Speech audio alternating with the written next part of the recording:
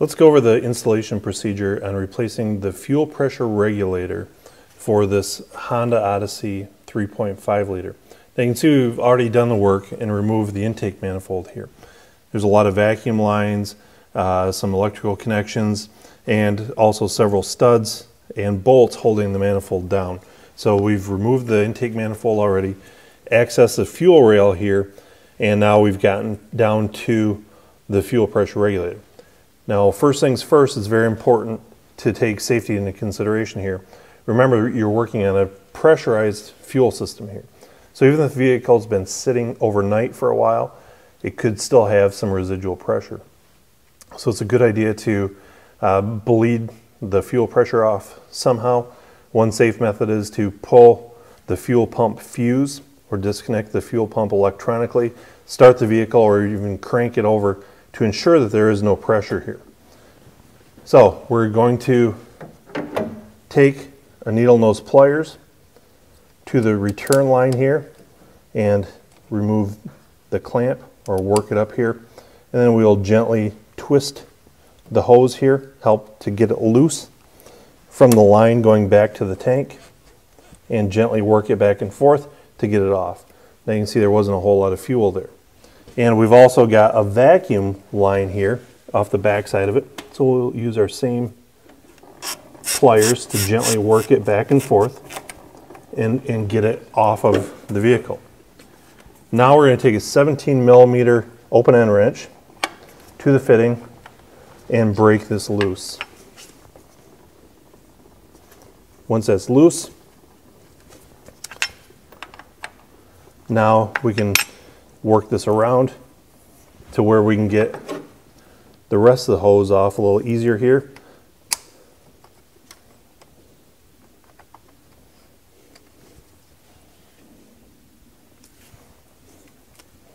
And again, we'll gently twist this back and forth to get it get it up off the regulator. Set it aside and then we can spin the regulator off the end of the fuel rail.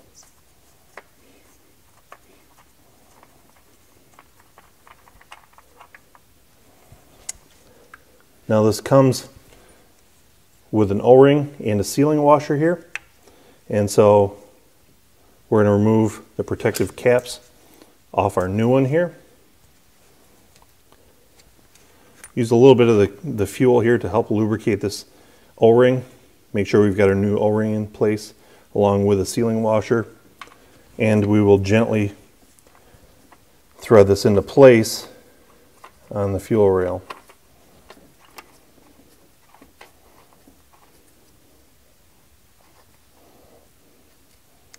before we snug it up, we're going to go ahead and install our hose here again.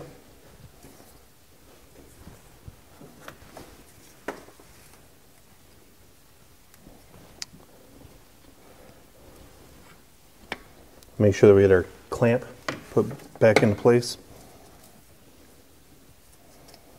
We'll rotate this around until it's clocked in the proper position where we want it to be. And we'll take our wrench again and tighten it up into place. Install the vacuum line and install the return hose on the line going back to the tank.